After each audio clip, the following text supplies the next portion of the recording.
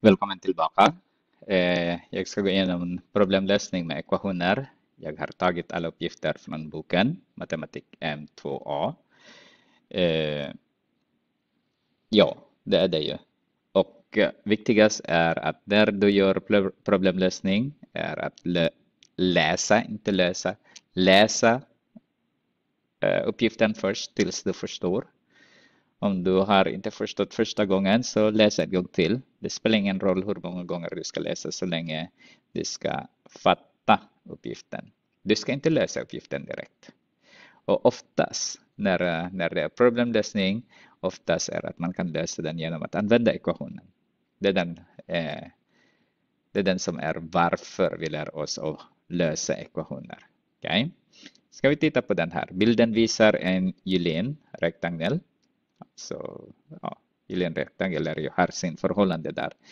Eh, rektangelns area är 10,1 kvadratcentimeter bestäms rektangelns längsta sida i hela centimeter. Okej, okay?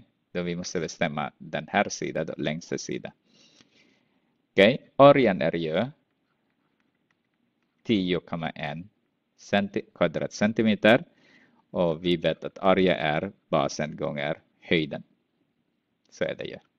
Så area är basen gånger höjden. Så har vi x multiplicerar med 1,618 x är lika med 10,1 kvadratcentimeter. Nu har vi en ekvation redan.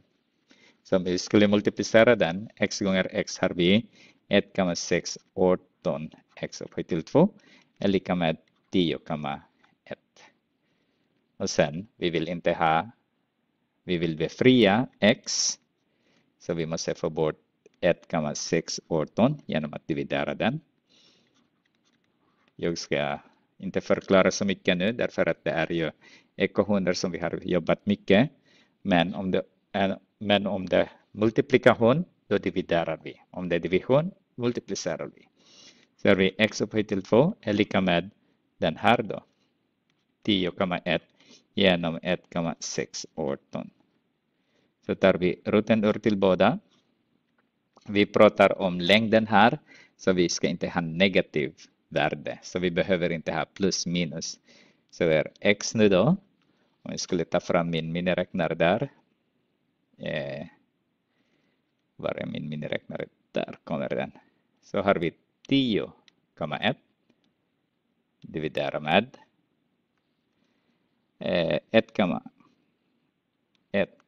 gamma 6, 18. Och det är den. Och sen vi skulle ta roten ur av den också. Så vi får 2,49. Ungefär då. 2,49. Och sen vi skulle ha, det är vår x. Okej. Okay. Så jag ska, så x är ju ungefär 2,49. Men vi skulle multiplicera längsta sidan vi pratar om så har vi 1,618 multiplicerat med cirka 2,49. Jag har inte eh, gjort någonting där. Så ah, 50, förlåt. 50 ska det vara. Multiplicera med. Okej. Okay. 6, 18 är lika med. Så har vi 4,04 eller vi skulle ha i hela centimeter så det är ungefär 4 centimeter. Eh, den här är ju 5 egentligen. Okej, okay. men eh, ett tips till alla som läser den här kursen eller vilken kurs i matematik som helst. Eh, vad heter den? Avrunda inte i mitten av eh, läsningen. Medan du räknar, du avrundar inte. Du ska bara avrunda i slutet. Därför att avrunda, det, avrunda om du ska avrunda och sen avrunda igen och sen avrunda igen. Det blir ju ganska stor diskrepans heter det. Så ett tips. Gör det bara i slutet. Som jag har gjort här. Trots att jag inte skrivit men jag har inte gjort med miniräknare. Okay? nästa. Erik Lena och Rita ska dela på 93 000 kronor. Lena ska få 15 000 kronor mer än Rita och Erik ska få dubbelt så mycket som Lena. Hur mycket pengar får var och en? Som vi har sagt innan, vi ska titta, läsa en gång till och den som vi ska tänka på är vem, vilka av dessa som, det vet vi inte hur mycket den får. Så vi tittar på Erik, Lena och Rita. Och sen skriver vi extra den som vi inte vet. Så Lena ska få 15 kronor mer än Rita. Och Erik ska få dubbelt så mycket som Lena. Så det vet vi inte egentligen Rita är. Så det är ju X, det vet vi inte. Därför att om vi, om vi vet redan vad, är, eh, vad Rita får, så vi vet redan vad är Lena, äh, eh, Lena får. Lena får 15 000 mer än eh, Rita. Och sen om vi vet redan vad det är Lena så vi, kan, så vi vet redan vad det är Erik. Det är dubbelt så mycket som Lena. Så. Så den här blir 2x är därmed 30 000. Och tillsammans ska de fördela på 93 000. Så har vi, hur med x är vi? Vi får 4x är därmed 45 000 är lika med 93 000. Okej, okay. så ser vi att vi har redan en ekvation. När vi har ekvation, det viktiga, eh, det svåraste för problemlösning egentligen är att leta efter ekvation. Kan ni leta efter ekvation, då är det så lätt att räkna. Därför den här är så lätt att räkna. Det, alla kan räkna den här. Så har vi 40x, äh, 4x, inte 40x.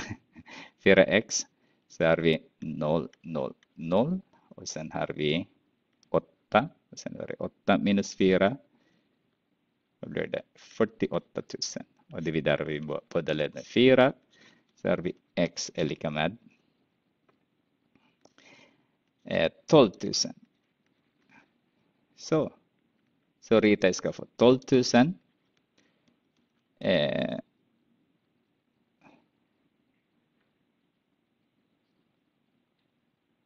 Lena ska få 27 000. Inte plus där. Det ska vara lika med tecken där. 27 000. Och dubbelt så mycket så är det 54 54 000 för Erik. Så om du räknar där allihopa så har du 11, 12, 13. Ja, då blir det 93 000 kronor. Och just det, jätteviktigt också att skriva eh, enheterna. Okej, okay. nästa. Mm.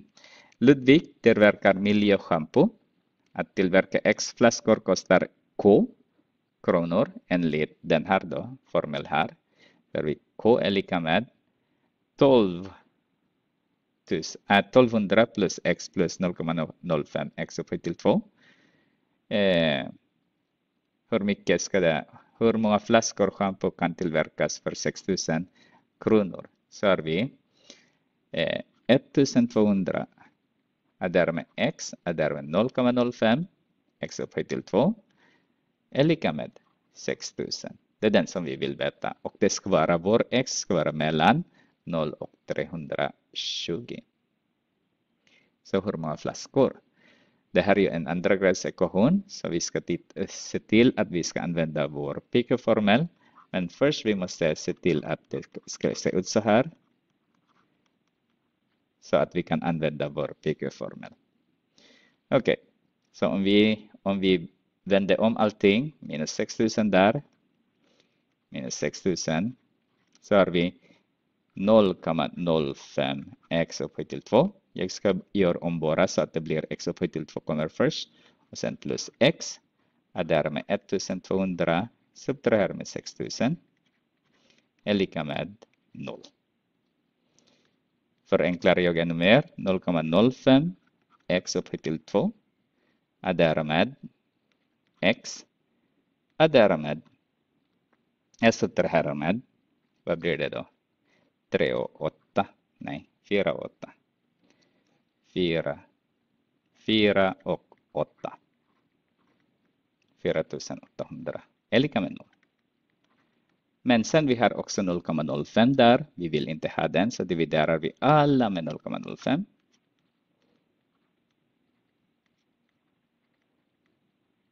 Så då har vi x upphöjt till 2.